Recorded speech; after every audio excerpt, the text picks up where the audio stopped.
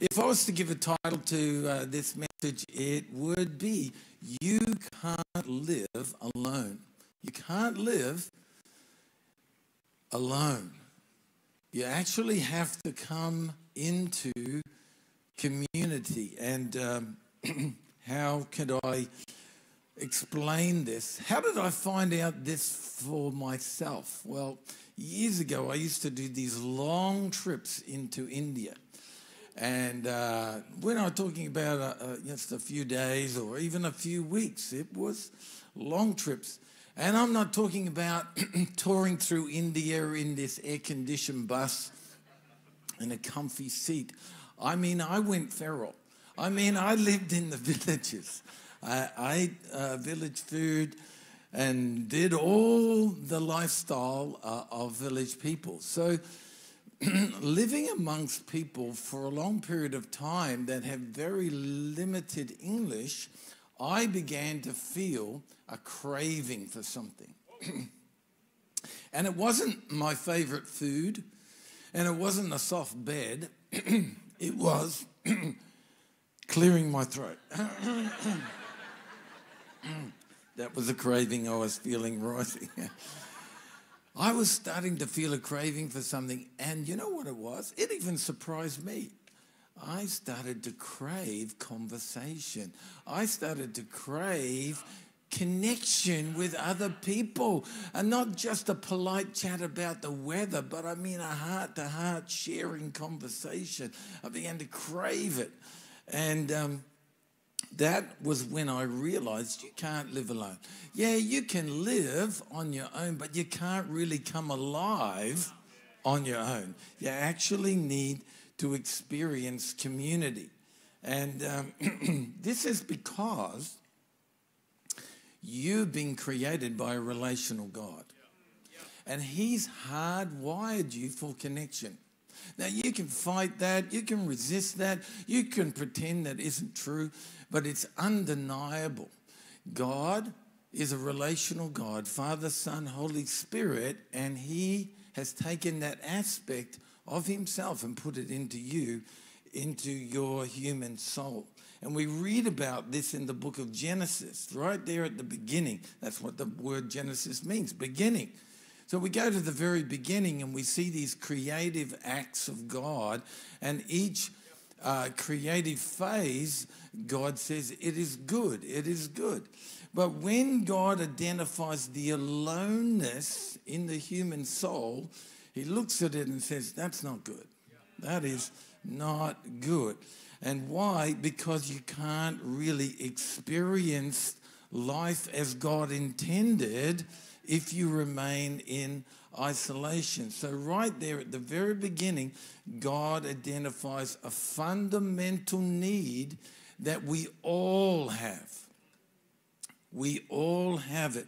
The need to be in relationship, the need to live in community with other humans. And so I want to say right up front please don't think that you're any different. Oh, yeah, that's for those people. No, no.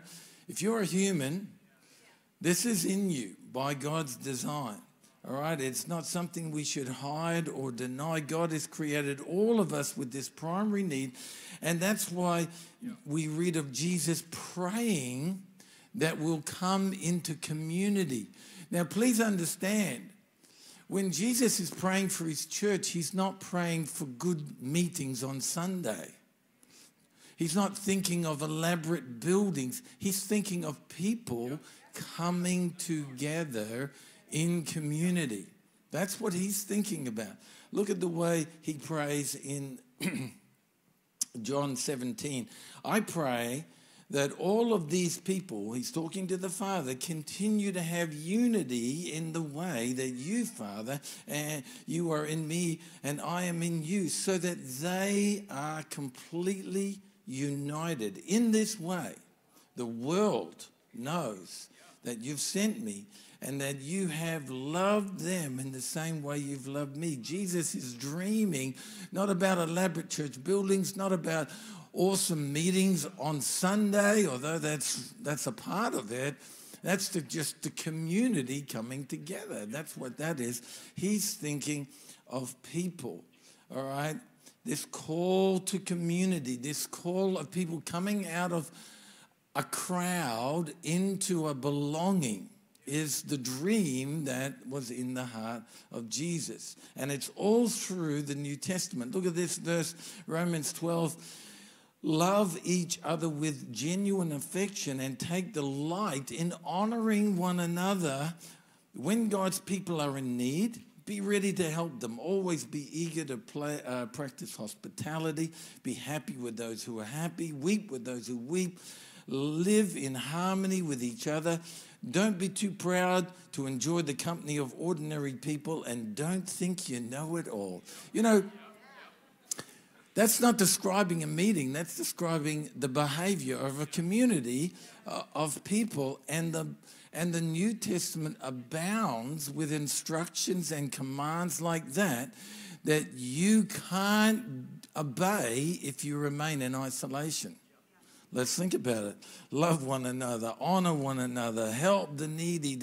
If you remain in isolation, you can't obey all of those New Testament commands.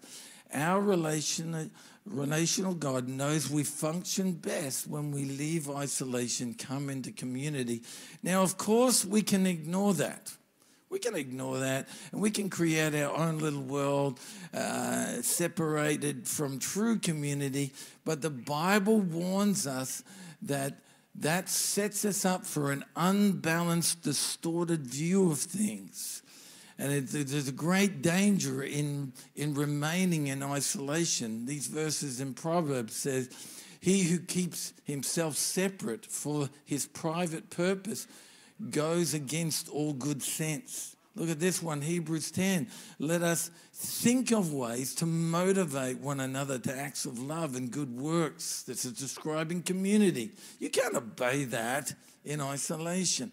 And let us not neglect our meeting together as some people do, but encourage one another, especially as the day of his return is drawing near. So if I'm going to save us a lot of time by gathering up the threads of all these New Testament instructions and commands about community and bringing it together into a singular statement. And here's the picture we get living in community is the experience of knowing people and being known by them. It's the experience of loving and being loved. It's the experience of honoring and being honored, of serving and being served. We're going to just quickly go through each one of these statements. First one living community is the experience of knowing people and being known by them. What's, what's the value of that? Well, let me illustrate with a story, true story. You know, Sally and I, my wife, were married very young. I was 21, she was 20. And shortly after we got married, we took off to Bible school. We were there for two years and we had our first two children. We graduated from Bible school and uh, now, in our third year of marriage, we're actually pastoring our first church. We have, we're learning how to be parents, we're learning how to be pastors. Church is small. I have got two jobs, uh, working as an electrician bivocationally. So here we are, fairly new to marriage, new to pastoring, new to parenting we had more fights than feeds, you know, as they say. There was a lot of tension in the home, a lot of unhappiness. It got so bad that at one point we went away on holidays and we got to the end of the holidays and Sally said, I don't want to go back. I do not want to go back to doing that. And so um, I called a friend and, and he recommended that we go for some counseling. And obviously, I wouldn't be standing up here married to Sally with seven children uh, if we hadn't have worked that out. All right. But that crisis forced us to reevaluate our lives. Sadly, I had pushed my marriage to breaking point because I desperately wanted to be successful. And you say, well, okay, but what's that got to do with your point about living in community? Well, did you notice how quiet it got in here when I started to open up and be honest about something? To be known. That's David. In case you were tempted to put me on a pedestal where I don't belong. Listen, if we go on a long car trip together, I'm going to break wind at some point. Okay? So, listen, I might be standing up here, but I don't belong on a pedestal. All right? I just happen to be a man that God has called to hold the microphone, do teaching, and do the stuff. All right? So, when somebody is sharing and being vulnerable and honest, we intuitively know we've been handed something incredibly valuable. And it has an enormous bonding effect. Bonding. I've watched this happen time and time again in small groups, connect groups. These people are so bonded because they're doing life together. And uh, this is coming out of isolation. Now, see, you can attend meetings for years and have your seat and leave, and you'll never have that bonding. You'll never be known. It's true. You can remain a stranger and never come into community. Community is being known and knowing others, all right? And this flows into the next aspect of community. Living in community is the experience of loving and being loved. You know, it's ironic to me how some people know very little about Christianity, but the one thing they always know Christians are meant to be loving people. you know, they don't know anything else but they know Christians are meant to be loving pe- people, which is true. Look at these verses. Jesus speaking, A new commandment I give you love one another. As I have loved you, so you must love one another. Uh, John 13, by this everyone will know that you have awesome meetings and that you're my disciples. that you guys know the Bible so well. This is how they'll know. No, he says, this is how they'll know it that you love one another. They'll look at this community and go, wow, what is it with these people? And now we know this word love is a translated verb from the original Greek. What does that mean? It's a doing word. Da-na-na-na. We should not be reading this as an emotion we must be reading it as a behavior. So it's fair to say, okay, these people are loving one another, but what does that behavior look like? What does it look like? What can we expect to observe if this is a verb, not just uh, an emotion? Because we're told in 1 Corinthians 13, love is patient. Love is kind. Love keeps no record of wrongs. So, this behavior of loving one another, what is it? Come on, let's break it down to our everyday lives. What does this look like? Well, love is how we behave when we're honestly seeking the highest good of another. That's it. And love is how we behave when we accept that others are imperfect humans just like we are.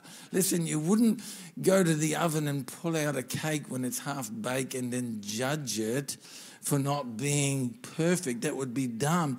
And guess what? We're all half baked. We're all not done yet. All right? So let's stop expecting people to be what they can't be. They're all half baked. All, we're all not finished yet. Uh, we expect people to be always there for us. Well, guess what? Only God can do that. Uh, we expect people to never fail us. Well, only God will never fail. And so let's stop being disappointed that the perfection that can never happen hasn't happened. Relationships don't succeed because people are perfect. They succeed because people forgive one another. All right. And this flows into our next facet of community. Living in community is honoring and being loved. That's one of the atmospheres that we have around here at Kingdom City. In other words, when we say atmospheres, this is why how we behave around here. All right.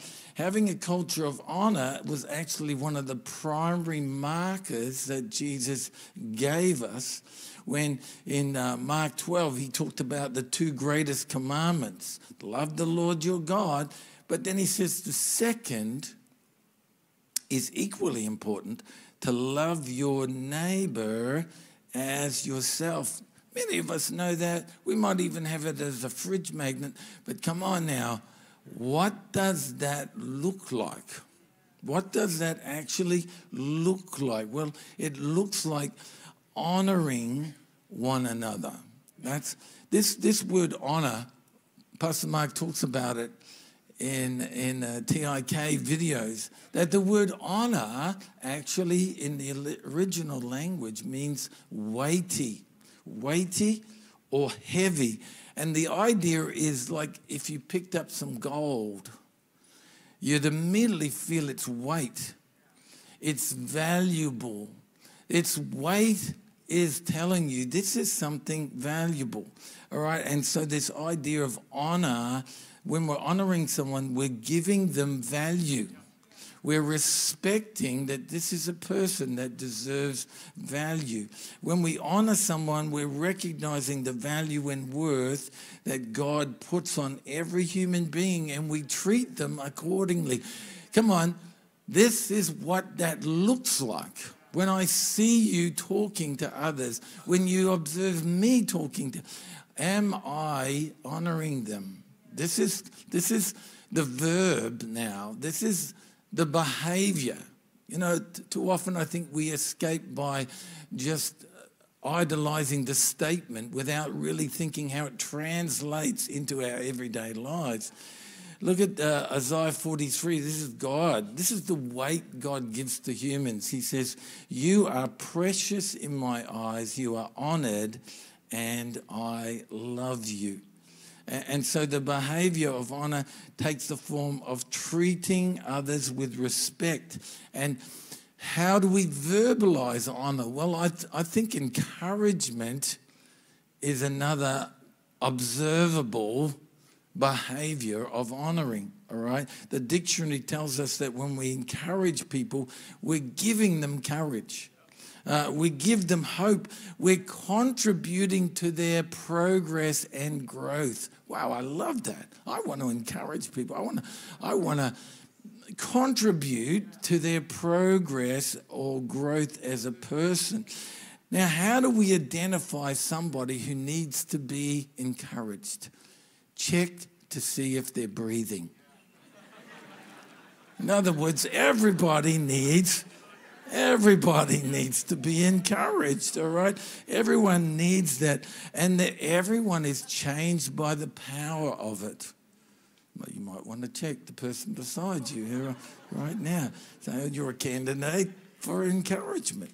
So never make the mistake of thinking somebody is beyond uh, encouragement. So when when we help people feel valued and capable and motivated, then then this is honoring. All right. And it energizes the atmosphere. That's why we love honoring around here. That's why we behave. You know, I don't want, know what sort of attitude you've come from at home and your workplace. When you come here, we want you to feel, wow, I feel honored. I feel respected. I feel like I have some value. And it's an energizing atmosphere. And then finally, Living in community is about serving and being served. Not just being served, but serving as well. First Peter 4:10, I love this verse. It says each one, each one should use whatever gift they have received to serve others. What are you meant to be doing with your gift? And you've got one. What are you meant to be doing with it? When God gave it to you, what did He, what was His intention? That you started YouTube channel or something. No, no. He gave it to you with the specific intention of, I want you to serve other people with this. That's why I'm giving it to you. Faithfully administrating God's grace in its various forms. Uh, you know, pretty soon this aspect of our community together will finish and we'll go out there and we'll, and grace will take a, a different form in the form of hospitality, in the form of encouragement, in the form, it's gonna, and it just keeps changing forms. But it's still the grace of God. You know, this word ministry actually means to serve. It's, it's sort of humorous to me that oh, I want that ministry. And they're, they're thinking of microphone, they're thinking of position and prominence when the very word itself means serving. So to say, I want that ministry, I want to be involved with, you're actually saying, I want to be a servant. I want to serve. And Jesus modeled this serving heart with that classic uh, place in Scripture where he washed the feet of his disciples. And this is what he says He says, If I, your Lord and teacher, have washed your feet, you also should wash others' feet. Now, no, he's not talking literally. Some of you are thinking, oh no, are we going to start washing? No, it's okay. That toe jam is, uh, you know, it can stay right where it is. You, no, it is, it is the heart because of the context and the culture of the day, this was somebody humbling themselves in the, in the desire to serve, to bless, to give away from themselves. Uh, in, in Matthew 20, he says, Whoever wants to be great needs to become a servant. That's what the Son of Man has done. He came to serve not to be served. So Jesus gives this new definition to greatness, which I love.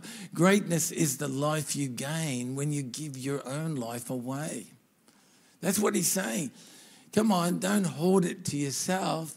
No, come into community and you will experience something by giving to others that'll make you come alive. That'll make you come alive. If you make life all about yourself, he's saying you actually end up restricting your life. But if you give up your life, you'll gain it. He's saying the tighter you squeeze, the less you have. He's saying freely you've received, now you freely give. And to whom much is given, much is expected. Oh, look at all that I've been given. And so the expectation of what you're meant to be giving away from yourself is actually increased. So we embrace this new definition of greatness, the life you gain when you give yours away. So, so God is working through you. This invisible God is becoming visible through you serving. Wow. Wow. All right. You are his light in dark places. You are his voice speaking into people's lives. And, and as you reach out your hand, God superimposes his hand over yours. I'm going to ask this, the musicians to come back and help me. So, what does the, the dream of Jesus for his church look like for people? Not to attend a meeting so much, that's part of it, of course, but that's not it. It's to actually come into community. Community is the experience, once again, of knowing people and being known by them. It's the experience of loving and being loved, of honoring and being honored, of serving and being served. And so, what's the personal application of this message that I'd love for you to not just pigeonhole in your catalog of sermons, but what's the personal application I'd love you to take away from this message today? Well, let me answer it like this Have you ever wondered why, of all the churches, God has connected you to Kingdom City? You think that's an accident? I think not. I think not. right? Of all the hundreds of people, God has actually deliberately put you here. You know why? Because He knows, He's looked at your life and knows the soil of this church is where you're going to thrive. You know, when you go to Bunnings and you read that little tag on the, on the, on the, on the plant, you know, this plant will thrive, da da da da da. Some of you totally ignore that, and the poor thing is struggling. Read the tag, okay? If you're going to pay the money, read the tag. They're telling you, you want this plant to thrive? Here's the conditions it needs. So God looked at you with your stuff going on in your life, maybe moved from another country, and He said, I know exactly where you're going to thrive. The soil of this house. That's why it says, without the, the, the righteous will flourish like a palm tree planted. Everyone say planted, planted in the house of the Lord. That's where they will flourish in the courts of their God. so, this promise of a life that's flourishing doesn't belong to everybody. Sorry. It belongs to those who have been planted firmly planted, connected, attached. All right. And so this is not a description of mere church attendance. This is about somebody who's planted their lives in the local church, receiving nourishment from its soil. But guess what? Also giving back with the fruitfulness that your life begins to bear as it's thriving, it now gives back. So, what is this telling us? No living thing survives for long if it's kept in isolation from its life source.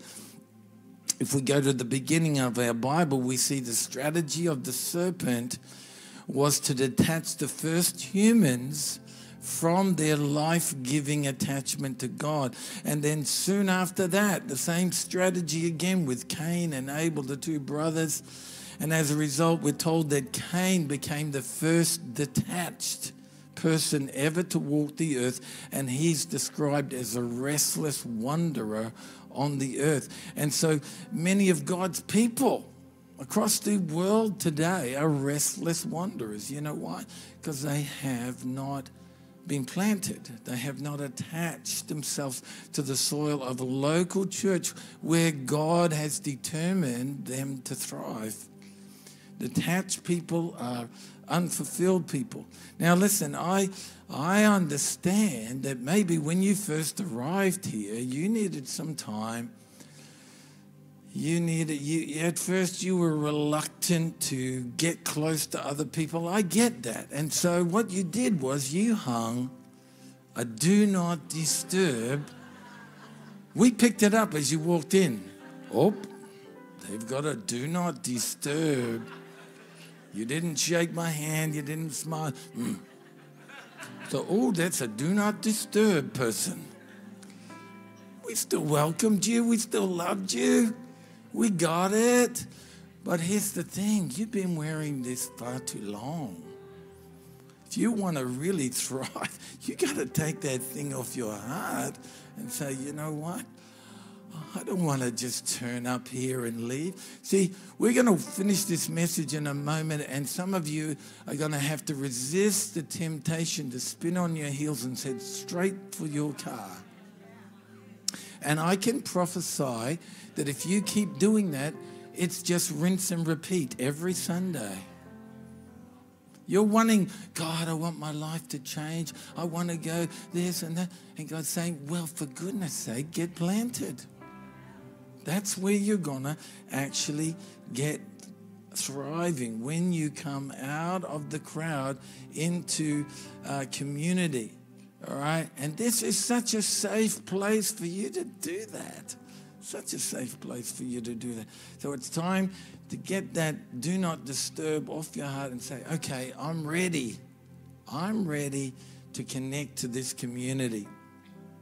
And that's why today we have these wonderful people out there in the foyer. Check it out. There's Krispy Kreme donuts. There's in, wonderful people waiting to help you connect, either to a connect group, a small group community, or you're saying, Well, I want to contribute. Uh, you know, the soil of this house has blessed me, but it's now time for me to give back and to contribute. All right.